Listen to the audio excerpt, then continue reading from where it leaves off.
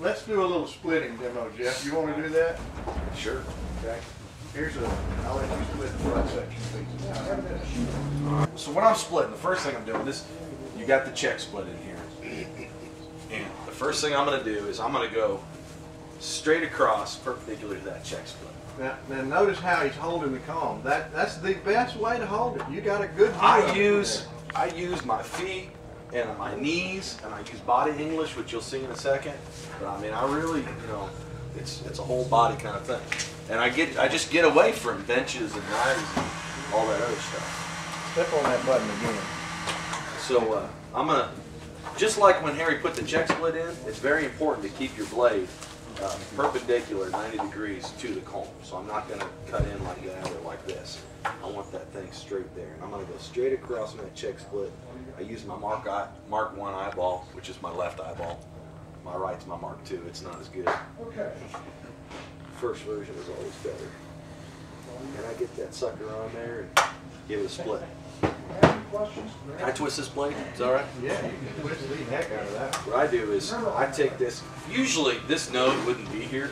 Right. I'd have this cut off. So one quick twist and I want to split it down to the first node with the knife. That's, that's how I do it. See, I'm just going to twist that until that first node pops. But he's twisting this blade this way, not this way, Right. okay? It's this motion. You could also, besides the twisting, you could also keep hammering that blade down to the first node. I just, I'm real uncomfortable about hammering knives towards my hands or my fingers or Whatever So, so I'd much rather just get it started and then twist like that. But some people, it, it- some people do struggle. A lot of my students have struggled with getting, especially on a butt culm like this. Take some hand strength. You gotta have some strength in, in your wrist and forearm. So now that it's past this first node, which typically would be down here to have more leverage, now I'm gonna still, I'm gonna hold that culm down with my feet and legs. And I'm gonna pull with even pressure, and I'm gonna split. My first splits are always fast not very controlled. It's just, I'm just gonna pull it. You ready? You watching? Here, I'll show you that way. That's it. This is, I'm gonna teach you the easiest way to ever split and get rid of all this other struggle stuff. Once you see this and practice this, you'll be able to split culms into, I, have in demonstrations, I split culms so thin they're unusable strips. I can split a strip down, I can take a two hundred thousand strip, that's a strip that weighs .200, and split it in half completely evenly into, into one Yeah, you I, can, I started to say, gee, Jeff, my first call, I split I'm talking about, I'm talking about the same measurement from end to end, not, not, not, not the run out. not the run out. All right, so now I've got two even halves. a lot of cones. I'm gonna go back, and here's where, this is kind of, I'll teach you how I do this. I like to, when I'm, when I'm eyeballing the half, and this actually is cut at an angle. I don't think you did that. Somebody else did that. And I tried to follow that original split, remember? This is the only step that's kind of weird that you got to remember is that uh, when I'm when I'm eyeballing it in half, because I'm looking at it, I'm looking at a half moon shape, a half circle. It's hard to find the middle of a half circle if you're on the outside of the circle. It's easier this way because here I've got my knife, you know, out on this circle. On here, I'm splitting that circle in half. It's really easy to figure out the distance. Yeah. This helps. This is a center measure rule, okay? How's that work? Okay, you put this here, and you make sure the measurements on each side are exactly the same. Then you cut on this, on the center line, okay? I made these, all right, I bought a metal one. Can I have that one? All you gotta do is ask. Don't get mad, you should have asked first.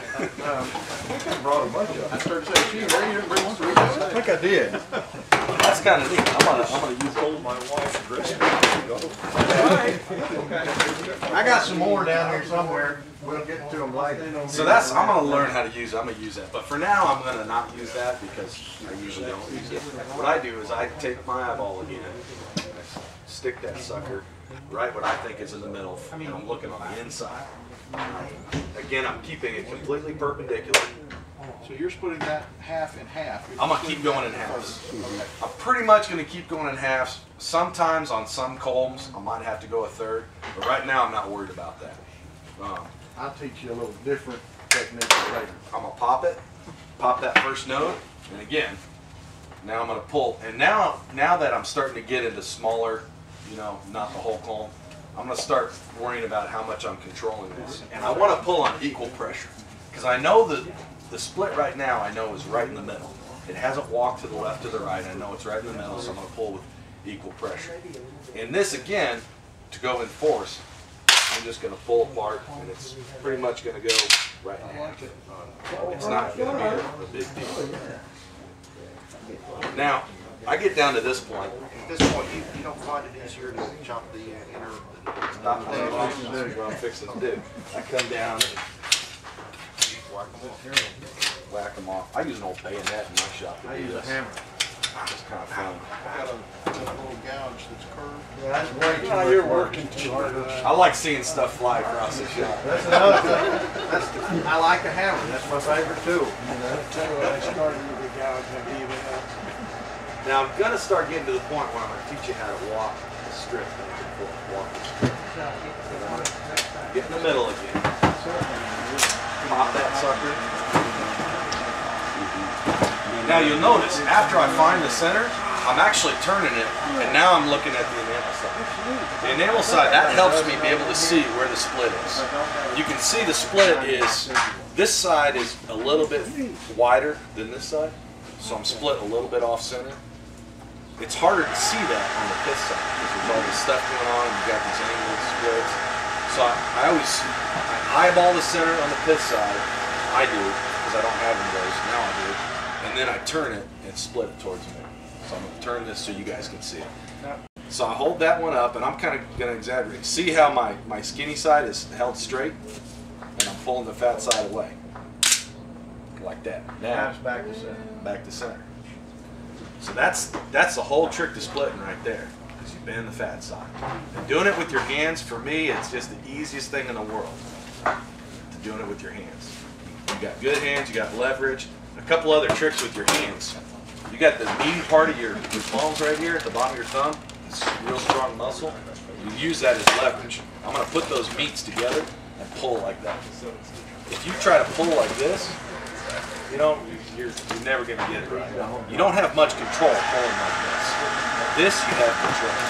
And I'm just going to stay in front of that split. I'm going to move down almost just above where it's split here. And watch how I use the meaty part. See that? And that didn't, I don't have to have all this muscle energy to pull that.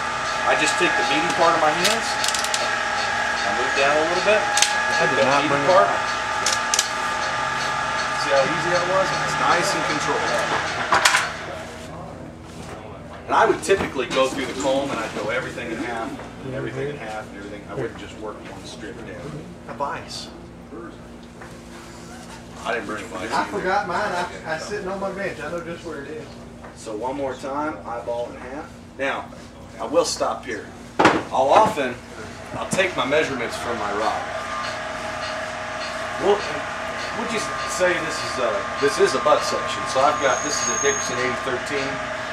The butt of my rod is 364,364. That's the diameter of the butt section of this rod. So that's the thickest part of the rod on the butt section. Half of that is 182. You all understand that your strip has got to be 182 wide. If you split your strip smaller than 182, you're S- yeah, a problem. It's not going that rod. right. Right. And as you're planing and stuff, you don't even want to split it down to 182. I want 60. So 60,000 so 60,000 Two, 250 would be a quarter of an inch. So let's say we want to go quarter of an inch. So here's where we need to start looking at our strips at some point is we need to, if we want to get a quarter of an inch, well, we've got 0.85 right now. Let's take it off Alright. half. So if we split that in half, we're down to 4.2, 425. Alright, uh, That's, that's still pretty wide. But because this is a butt section, we only need six strips out of it, that's fine. I mean, you can start there, but you're gonna have a lot of material. Planing, You start at 425, you got to get down to 187. You got a lot of planing. So instead, I might take that that point point eight five. What's that divided by three? About forty-three. About a little less That gets your quarter of an inch. That gets me there. three So now- So now what I'll do is what was it? Point point eight five. I'd actually use a calculator because I can't do math in my head. And Five divided by three is point two eight. Two point seven, two point eight. okay, I'll go down. I'll go down to two seventy six four five. See here. Sharp the blue one because it has a fine point on it. So now I can actually come out on the enamel side and set this, and I can actually mark. You see what I'm doing? I'm just.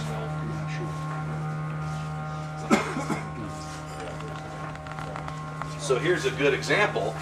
This culm just happens to be one I need to go in thirds for the butt section. You see how I mark those? Now it's going to be real important being able to walk that split. It's going to be real important. So I come back now, and let's start. I'm just going to put it on one of those blue lines. It doesn't matter which, but I do still want to stay perpendicular to the enamel. All right. So you see that? I've started right on that blue line. I'm gonna come down, I'm gonna give it that twist real quick. Okay. Now it's gonna be real tough keeping this, this strip here that I've started to split, keeping it at that quarter inch the whole way down. I mean, most people would get around I did, you know.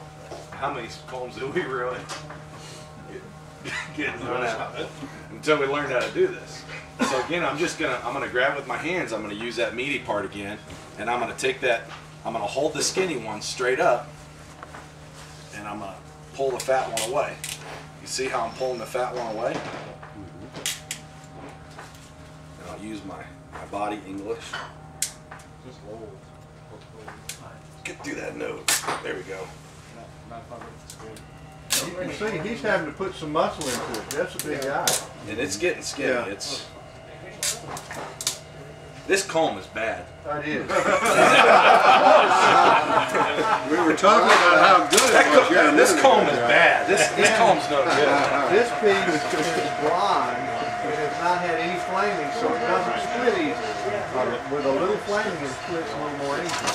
And that one didn't come out that right. And you know, one thing I did notice looking at this strip now, it seemed like it was a little wider in one end than the other. That's another thing you got to deal with. It causes. This one will work pretty simple. This one's real simple. It's just a. Hand.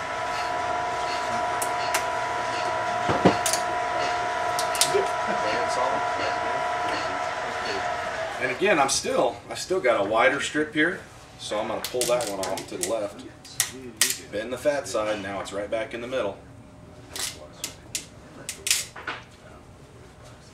And now this side's a little fat, so I'm gonna bend that one.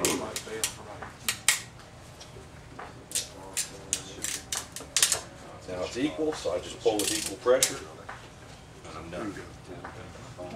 I'll tell you, the, the, when you get to a node, that's where your split's gonna mess up. Your split's not gonna mess up. It's gonna stay where it started. One of my problems with that, that third that I pulled off I that I got messed up at that node and I had to pull real hard, and I just couldn't control it. And it's a butt section. You need six strips out of this entire piece of bamboo. Yes, we're good. We're, we're in great shape. We're in great shape. We can make two butts out of that rod. So, Right. so that's all. So, all right, you guys want to split? Some? Let me, let me show you a little bit different way. Here. Okay. Um, say, let me show you. no, it's just a little different way. Jeff split it in half, like this. That's roughly half. And then in half again, and then in half again, and then in a third. Okay? I would determine that I want to get, if this were a tip section, I want to get two, two tip rods out of this. So how many pieces is that? That's 24. Okay? So I'd have to get at least 24 pieces, assuming I don't screw anything up. I'm assuming there's no leaf nodes or There's no drawer marks, to get rid there's no gouges where I- my file slipped or anything. So I want 28 pieces out of this, not 24. Okay? So in order to get 28 pieces out of this and to have all of my splitting after my initial splitting be in half, because in half is a lot easier than in thirds, I would mark seven equal marks all the way around. So you measure it and divide by seven? I'd seven. measure it and divide by seven. And then I'd take a set of dividers, which I didn't bring with me, little two little points, and I'd measure out one seventh and I'd walk all the way around. So that my initial split, I'd get four out of this one and three out of this one. Okay? Let's say, and I'm gonna just eyeball this.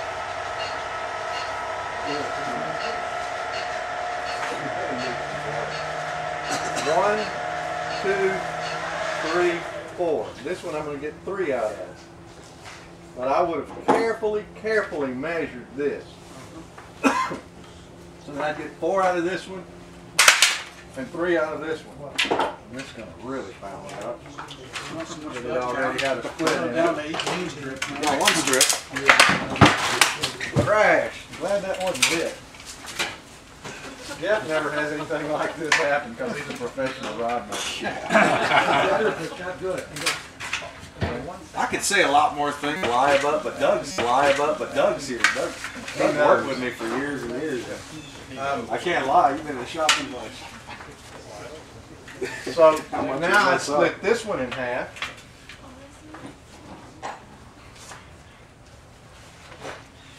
Very carefully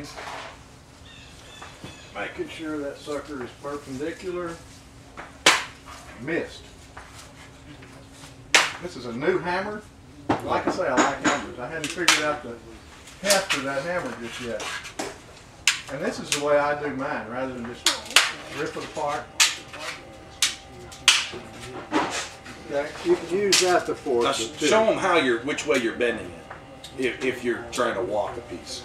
Because you're doing the same thing. You're, you're bending it against the fat side. Right.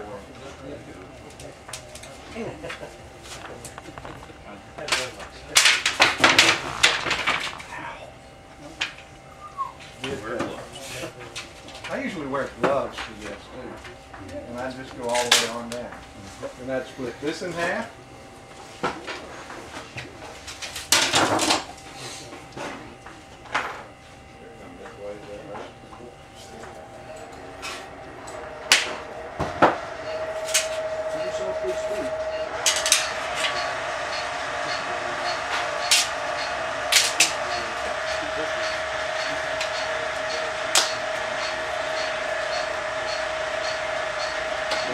Now, now you're using a six foot section right?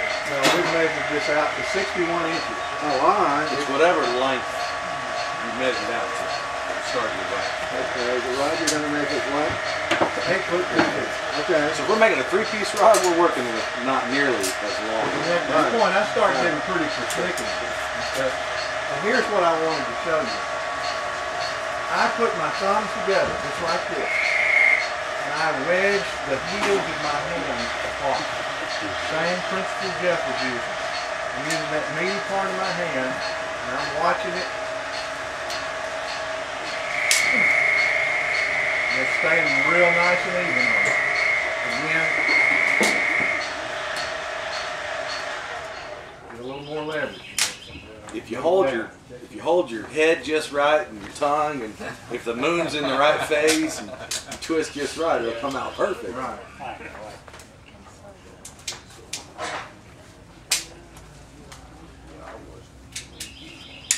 Try not to hit you with that, Jeff. I found this to be the easiest, almost one of the most enjoyable parts. Another, yeah. rod. I, I like it. But you can see why the production people saw Now the here's why I oh, wanted twenty-eight pieces. So that, that piece right there is unusual. That in where it's got that big gouge split out of it already. Again, I'll carefully measure this in half. Is it really because we're at sixty-one inches and You, you might, could, could work it out. might be able to work it out. You might, but I also have been known to screw up pieces at later stages. Oh, no.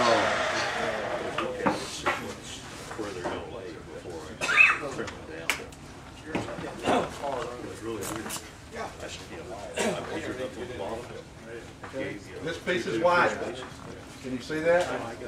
I'm gonna bend the fat piece.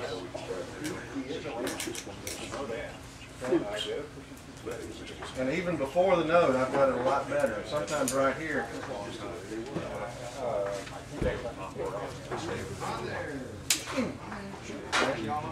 Now just continue to bend that fat piece.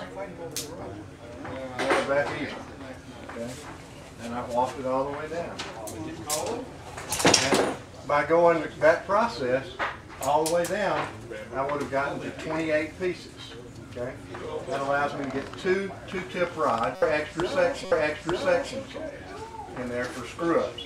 And when I worked them, I would go ahead and work those four extra pieces, just like I did the other pieces, in order to, at any stage before glue up, I could constantly have extra pieces to work with. I need a little insurance. So we managed to get the same process, you know, a little bit different method.